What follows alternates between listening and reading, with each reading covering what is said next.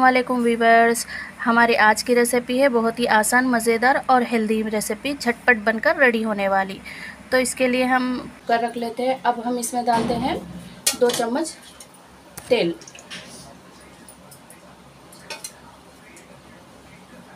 दो या अढ़ाई चम्मच तेल। हमारा ऑयल गर्म हो चुका है। अब हम इसमें डालते हैं दो मीडियम साइज़ के प्याज।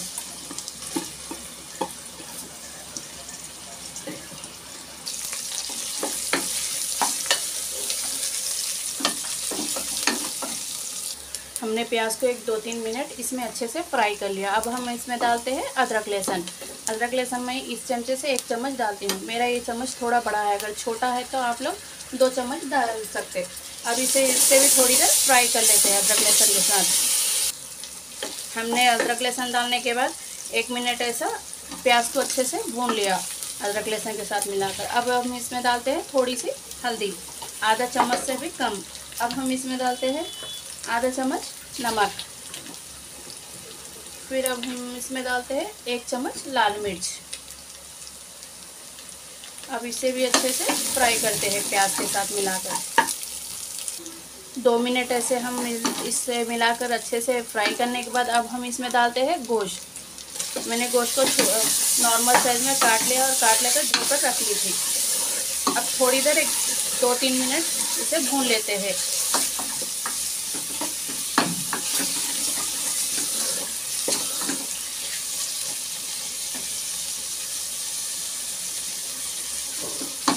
एक तीन चार मिनट में इसमें अच्छे से भून ली। अब मैं इसमें डालती हूँ एक गिलास पानी।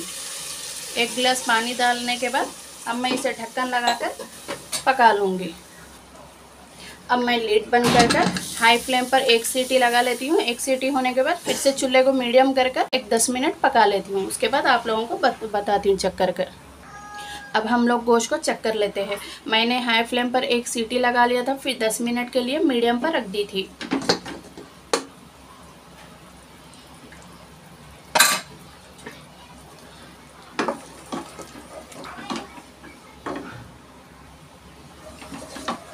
मेरी प्याज भी अच्छे से भून गई और गोश्त भी एटी परसेंट तक गल गया। अब मैं इसमें भाजी डाल डालती हूँ।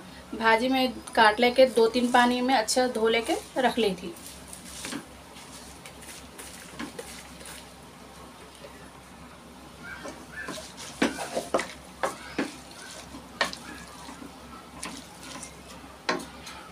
भाजी डालने के बाद मैं इसे अब लीड बंद कर लूँगी। फिर एक सीटी हाई फ्लेम पर होने के बाद पाँच मिनट मीडियम फ्लेम पर पका लूँगी।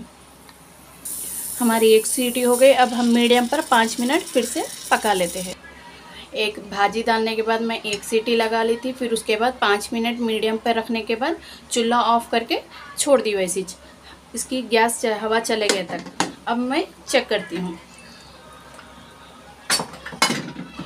पाँच मिनट ऐसा छोड़ दी थी मैं। अब भाजी को अच्छे से भून लेते हैं, गोश्त के साथ मिला के। मैं भाजी को अच्छे से भून ली, भून लेने के बाद फिर से मैं चूल्हा ऑन कर ली। चूल्हा ऑन करने के बाद मैंने चम्मच नमक चखा था, नमक इसमें कम है तो और थोड़ा नमक डाल लेती हूँ। भाजी में नमक ना बहुत कम लगता, अगर ज़्यादा डाले तो ज़्यादा हो जाता तो देख समझ कर डालिए आप लोग। अब एक पाँच मिनट ऐसा भूनते हुए थोड़ी देर पका लेती हूँ। पाँच मिनट पकाने के बाद दम पर रख दूँगी। पाँच मिनट में भाजी को भूनते हुए पका ली। अब मैं इस पर ढक्कन बंद करके चूल्हा ऑफ़ करती हूँ दो मिनट के लिए। चूल्हा ऑफ़ करने के बाद इसी तरह से छोड़ देती हूँ। उसके बाद मैं आप लोगों को बताऊँगी। दम के लिए ऐसे ही छोड़ देना। चूल्हा ऑफ़ करने के बाद फ़ौरन नहीं निकालना भाजी। कोई भी चीज़ रहने दो। तेल अच्छा जमता है ऐसा छोड़ देने से। चार पाँच मिनट। अब मैं आप लोगों को भाजी डिशाल का कर बताती हूँ। तैयार है हमारी रेसिपी तो कैसे लगी आप लोगों को? अगर अच्छी लगी तो प्लीज़ लाइक कीजिए सब्सक्राइब कीजिए और शेयर कीजिए। अल्लाह हाफिज़।